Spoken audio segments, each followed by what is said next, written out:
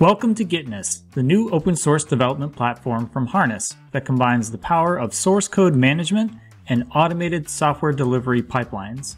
In this demo, we will see how to import a repository from GitHub and automatically generate a continuous integration pipeline. So first, I'll create a new project and call it Demo.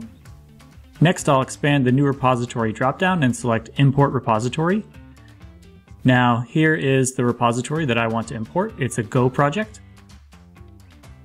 So I'll enter that into the repository URL and click Import Repository. Here it is. Now I'll click the Pipelines view and click New Pipeline. Give it a name, example. And at first we'll see this default pipeline, but if we click the Generate button, Gitness generates a pipeline based on the files in the repository. So we've got a build and a test step followed by a Docker build step. So let's save and run this. And we see the pipeline kicks off.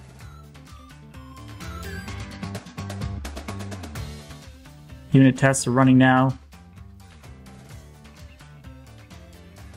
Followed by a Docker build step.